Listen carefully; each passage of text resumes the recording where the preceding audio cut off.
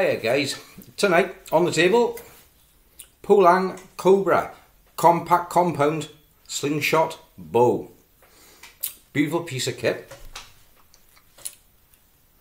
Quad limb, compound, 45 pound draw, adjustable.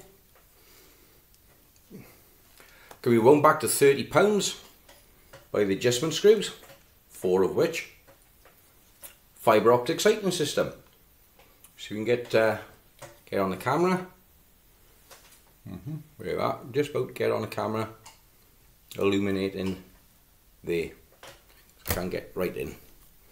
So we can get yeah on, off, variable brightness. Great sight picture. Right then, let's talk you through the bows. Let's let's start at the front. At the front, fibre optic sighting system. Uh, one, two, three, four, five vanes illuminated for your different trajectories. With a variable potentiometer using three watch batteries for your lights. All alloy construction, alloy, no plastic. As you know, I hate plastic. So, all alloy head, alloy riser. It's a seven and a half inch riser with quad limbs, multi-adjustable, four pins. Voila! Here's the one I prepared earlier. The handle is quite comfortable. It's not the most comfortable, it's quite comfortable. If you've got a small hand, because most of these bows are designed with Chinese in mind. So medium-sized shooters um, are going to have a great comfortable fit. If you've got a hand like a gorilla, you're going to have difficulty squeezing your hand in. You're going to have to make a custom grip. There is no alternative grip for it. Custom's the only route. So get your jigsaw out and a lump oak. Whisker biscuit on the rear instead of at the front. The whisker biscuit alloy mounted. Four string setup. Your release. Peep sight set into the um, the main drawstring and pulled off against cam string.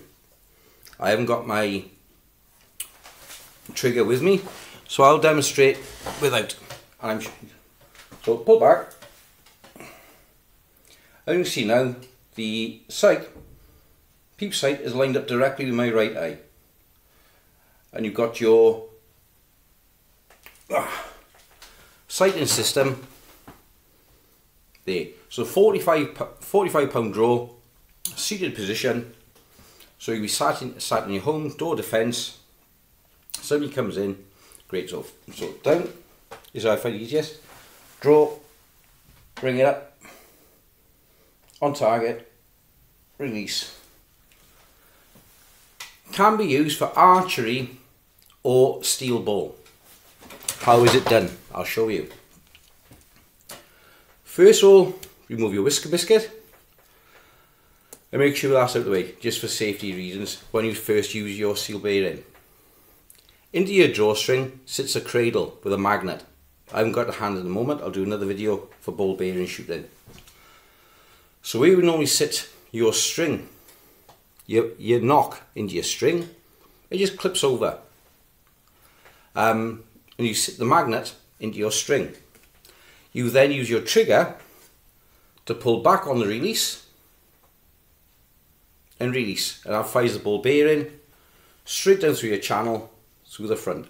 This is why I recommend removing your sight because you, if you, you, when you first use it and you practice, you get it wrong, you'll smash your sight out.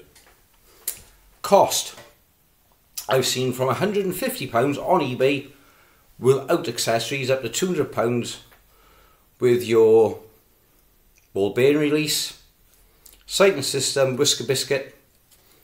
Um, doesn't come with a trigger. Trigger's your own choice with a thumb release, finger release. That's down to you. Comes in black or woodland camo. Um, I went for the woodland camo. I wish I'd gone um, tactical black. But it don't matter, I can always paint it. Cam wheels. These are standard MK350 cam wheels um, and, and cable set. Beautiful construction. I put about 100 um, shots for this now. Um, this will be, I'll look at the detail now of the cam wheels. Grab the camera. Okay.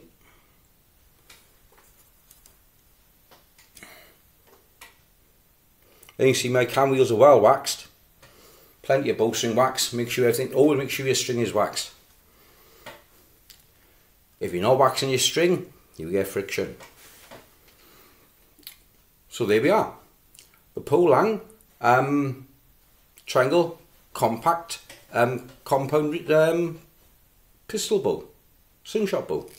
They, they, I haven't found a designated name on it. Um, but I will include the links in the description below as always.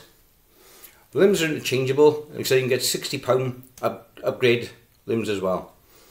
Um, for a, close range compact, I think it's, it's good enough. So give you a size of, give, give a size of the brace from my hip to my shoulder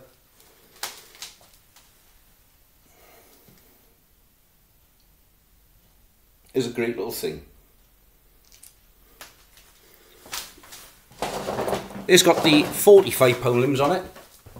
Um, I think 60 pounds is, is, is, is, is, for my opinion, for close range work is too much. For close range hunting, 45 pounds is perfect. Um, 60 pounds if you want, want push out your ranges a little bit and go for, for bigger targets. Cheers guys, keep watching.